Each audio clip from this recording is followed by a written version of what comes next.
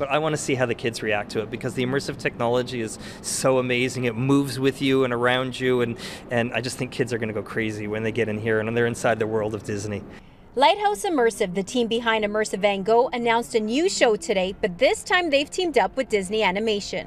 The next immersive show following on Immersive Van Gogh uh, is Disney Animation The Immersive Experience. And it's all the animated films of Disney that everybody loves, starting from the first appearance of Mickey Mouse 100 years ago, uh, through all the classics in the 30s and 40s.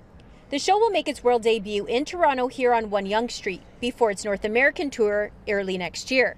It will coincide with the 100th anniversary of the Walt Disney Company. Disney animation is multi-generational from you know Snow White and Pinocchio through Encanto, Encanto and Moana.